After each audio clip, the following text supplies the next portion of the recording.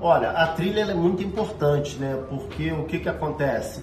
Com a trilha você consegue mexer com a emoção das pessoas de acordo com o que o, o, comunicador está narrando ali, né? Se ele dá um tom de voz mais alto para o lado do suspense, você bota uma trilha de suspense, né? Você vai para uma trilha de suspense. Se ele vai para o lado da emoção, você já coloca uma trilha um pouco mais lenta para fazer o que? Mexer com a emoção das pessoas, né? Então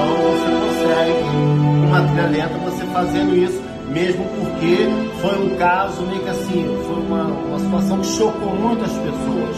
Então a trilha, ela consegue fazer com que as pessoas se envolvam dentro da história, entendeu? É uma coisa muito bacana, claro, que tem que ter toda uma sensibilidade.